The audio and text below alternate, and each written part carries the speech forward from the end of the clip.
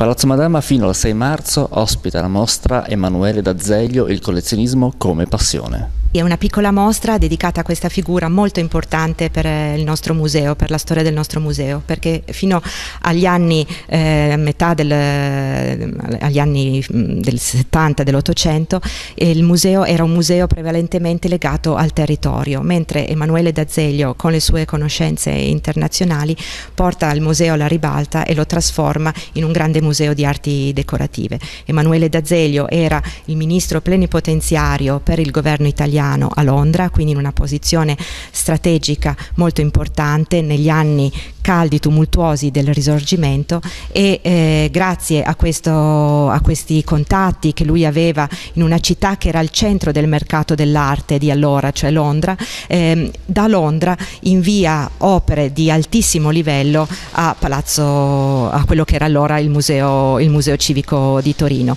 E ehm, inizia con una serie di porcellane, di, di maioliche e prosegue con dei vetri dipinti e dorati che sono tutt'oggi una collezione unica al mondo. E quando eh, si ritirerà a vita privata nel 1868 pian piano comincerà a interessarsi sempre di più alle sorti del museo e nel 1879 diventerà il direttore per 11 anni e in questi 11 anni cambierà eh, le sorti, la, la struttura, la configurazione del museo torinese. Le opere o l'opera più significativa esposta?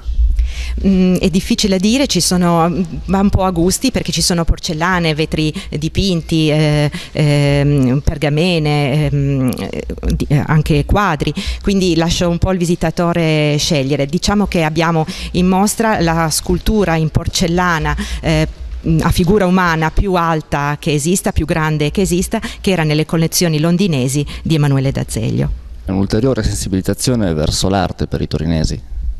E sì, e anche di consapevolezza di un, uh, di un patrimonio che ha un, un valore eh, sovranazionale a volte, a volte dimenticato, ma che è assolutamente da riscoprire.